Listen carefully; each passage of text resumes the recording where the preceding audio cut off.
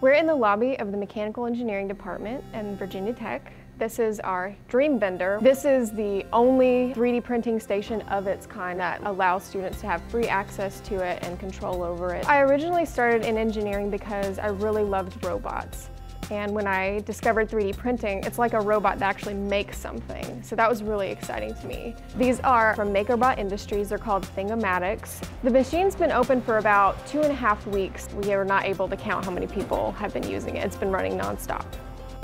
We're in the CAD lab of the Department of Mechanical Engineering. In our lab we had this handheld microscope that we needed a stand for, so we took some measurements and created it all in this 3D modeling program. From there the program will generate the G-code that you will put on an SD card and then you'll take it to the DreamVendor. Put the SD card in the slot, we're going to select build from SD and then you just pick your file and then you hit OK and the printer prints your part. Like a hot glue gun. And so it shoves this plastic through the nozzle and extrudes this molten plastic. And from there, it draws the pattern of each layer of the part. It's pretty amazing how intricate the parts can be that can come out of this machine. We've had chess pieces, action figures, we've had really complex objects. The finished part will come out into this bin, and so when it's done, you'll just grab your part.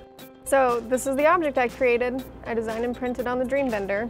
It's for my microscope, sits in there, and it allows me to look at my test samples. One of the things I really like as a researcher in 3D printing is getting to see people's ideas for the use of 3D printing. You know, I can only think of so many things that this technology can, can do and opening this up to the public really helps our research out because we get those ideas from other people.